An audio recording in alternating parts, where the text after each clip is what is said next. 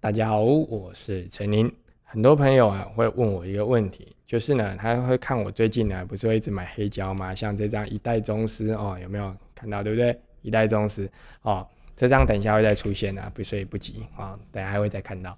很多人看到我一直买这黑胶，那就会问我说：“哎，陈宁是不是要很有钱才可以玩黑胶？”哦，首先呢，呃，我必须说两件事情。第一个，我并没有很有钱哦。第二个，这这但这不是重点。第二个是，并不是。很有钱才可以玩黑胶，因为呢，黑胶其实也有很便宜的玩法。相对于呃，你之前看到那一支陈宁有另外一支影片，就是什么一一台黑胶换一间房子哦，那一支影片呃，我必须说它确实是给大家带来一个误解。我原本的本意是想要告诉你黑胶有很贵的机器，但是呢，大家要知道一件事情，就是并不是都那么贵。哦，黑胶其实也是有五六万就很好听的机器。那五六万是什么概念呢？五六万呢，就是像我们那个呃最入门的欧拉利克 o t G One 啊，那个串流播放器啊，它现在就是哎哦，它涨价了，它八万。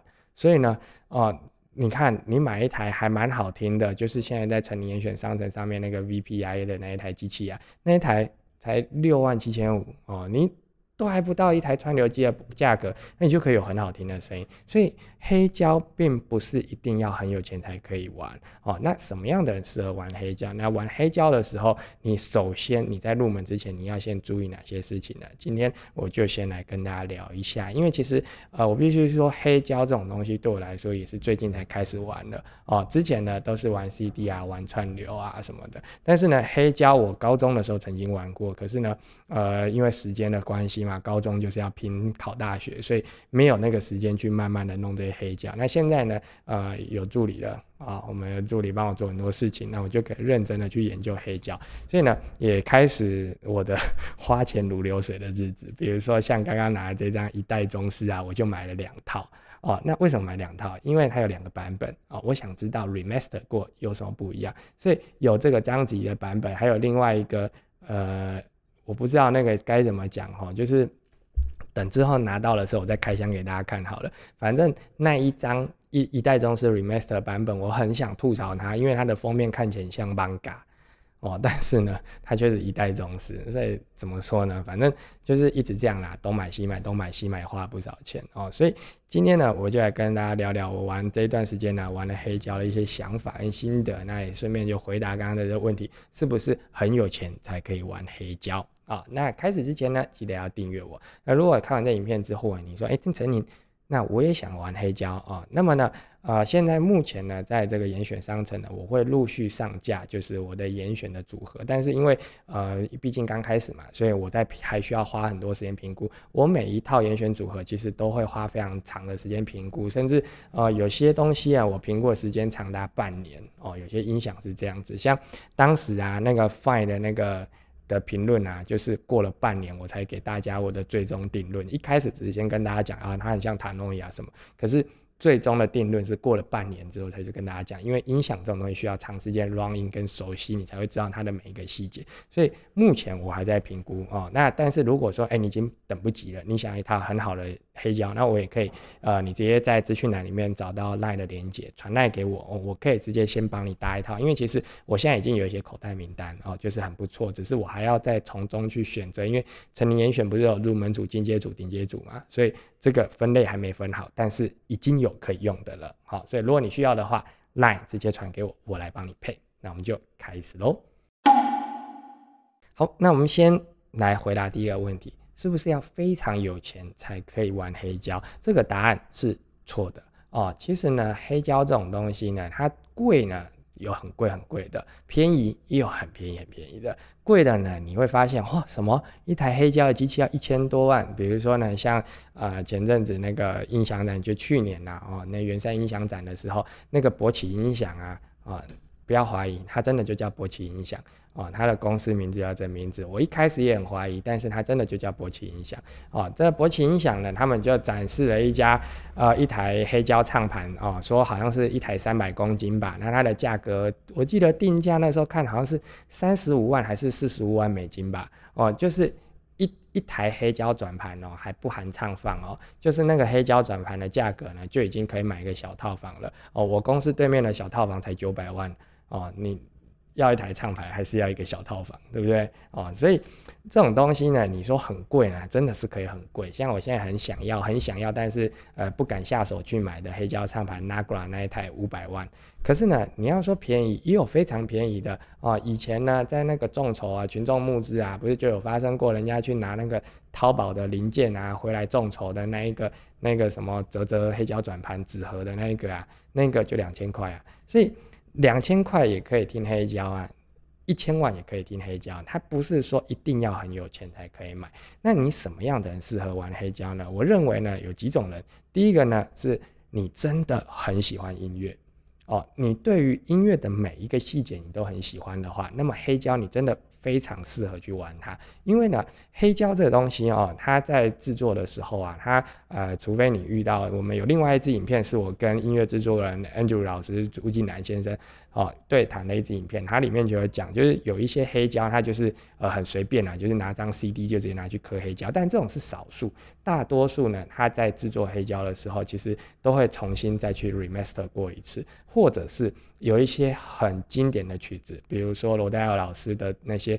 啊，什么光阴的故事啊？他当时发行的时候都是黑胶唱片，所以你想要听到最原汁原味，或者是呃一些重新处理过非常好听的曲子，其实呢都要靠黑胶才可以取得。所以如果你真的很喜欢音乐的话，哦，比如说你很喜欢听古典啊，哦，你喜欢卡拉扬啊，那么你去收集这个卡拉扬的黑胶，当时的版本 remaster 过的版本，然后甚至你把 CD 都收，你去听去比较，你会。听到非常非常多你过去所没有听到的细节，因为其实呢，音乐在变成 CD 数位化的过程中，因为取样率的关系，其实多少都会损失掉一些东西。举例来说，像呃我非常喜欢的卡拉扬的莫扎特安魂曲哦，它的安魂曲有两个版本，那其中一个版本。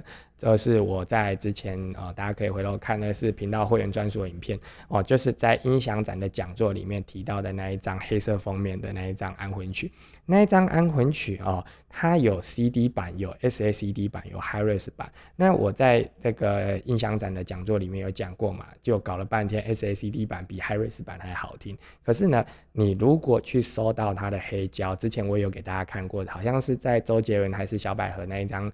那个那支影片里面有展示给大家看过，就是那一张 CD 的黑胶版本，你再去听，你会发现有很多环境的噪音细节哦，在变成 CD 甚至 SACD 的时候不见了，所以呢。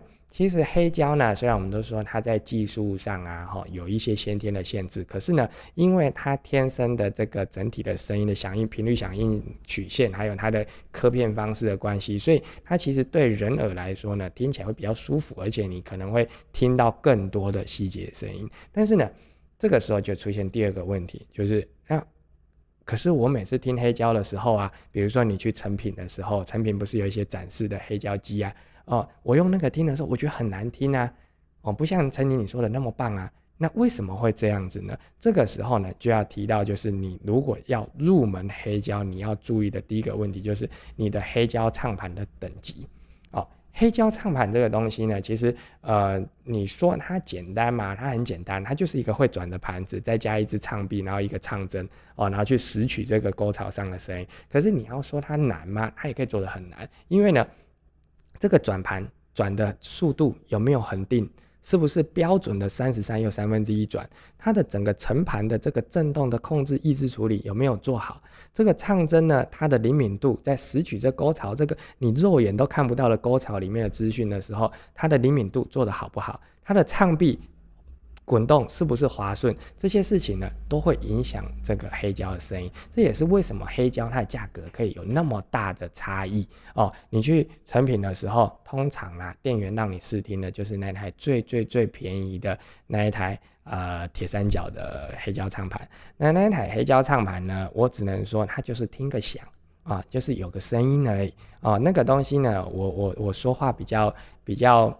呃，不那么直接啦。我另外那个代理商朋友哈，他听到那个东西，直接跟我说，那个就是，哦，我就不讲出来了啦啊。但是他呢，他就说，那就是，那就是，哦，他就是直接这样跟我讲。那我必须说，他说的非常有道理。因为呢，再好的黑胶，哪怕是最新最新的周杰伦的黑胶，放在上面，不知道为什么就是杂讯一大堆，导致呢很多人以为黑胶的声音就是那个样子，但实际上并非如此哦。差不多，其实不用很贵，大概呃一两万、两三万呢一台呃。等级还不错哦的，就整体的这个结构设计有做好的黑胶，在的唱盘再搭一个 Auto Phone 一个入门的 M 的唱头，其实呢，很多时候听起来它的声音的真实感哦，尤其是用一种一些比较新的黑胶，比如说像这一张哦，这样看清楚吗？啊，像这种。这个比较新的这种一代宗师这种新压制的黑胶，它的声音的干净程度，还有它的低频的真实感，那种鼓声的那种扎实，那种鼓皮的弹跳呢，其实会比你用同价位的 CD 啊还要好听。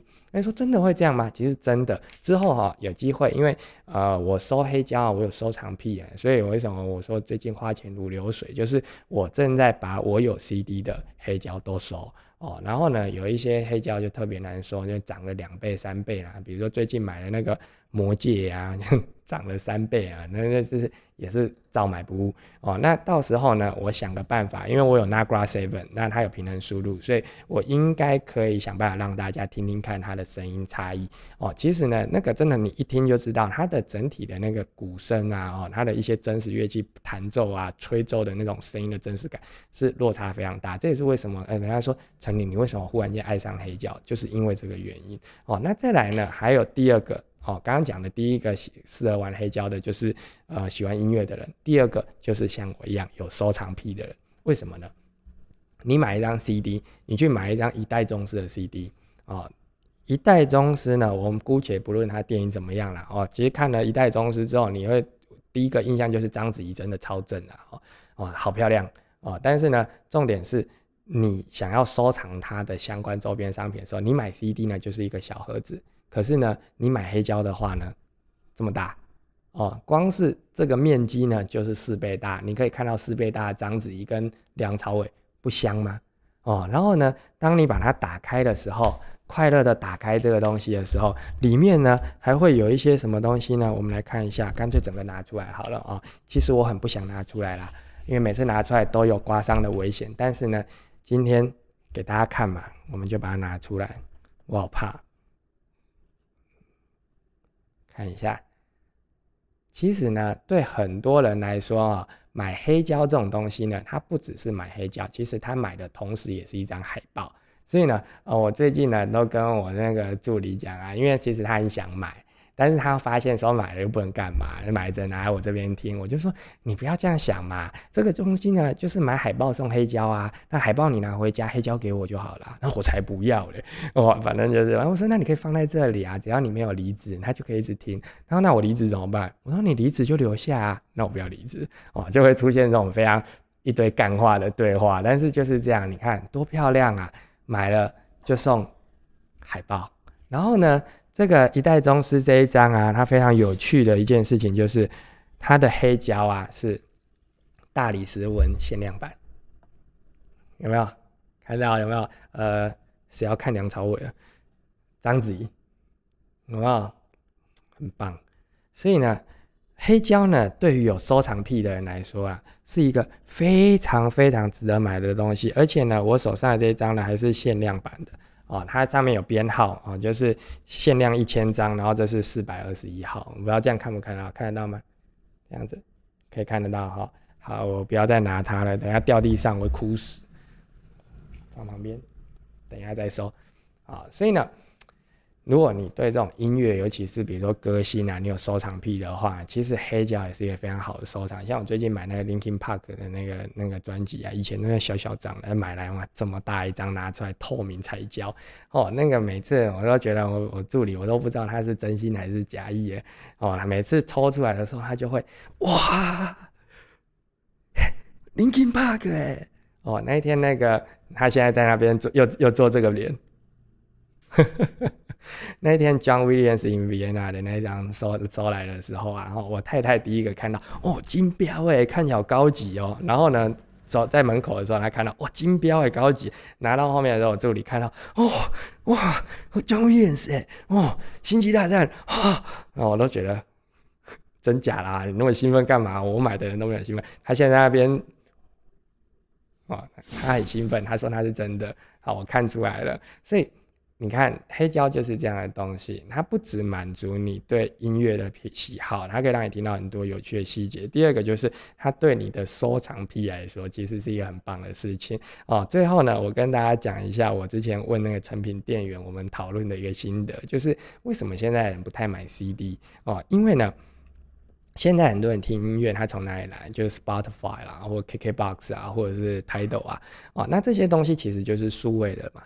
那你再去买一张 CD，那也是数位的，买起来没有收藏感啊。就你 KKBOX 就可以听的东西，我买 CD 干嘛？除非你像日本人，然后给你弄个 CD 特点。可是呢，现在买 CD 特点买回家干嘛？定得而已。所以呢，CD 现在买的通常就是握手券哦，然后握手券抽出来，CD 就把它拿走了。